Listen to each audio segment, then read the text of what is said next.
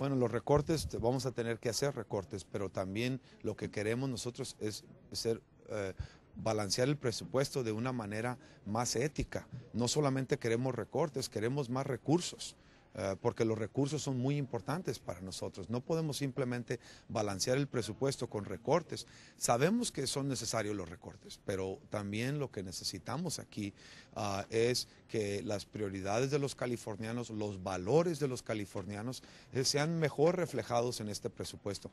Por eso cuando ves que los republicanos eh, quieren seguir dándole un crédito de impuesto a los dueños de yates, y al mismo tiempo recortar los servicios para los pobres, yo no creo que eso es justo.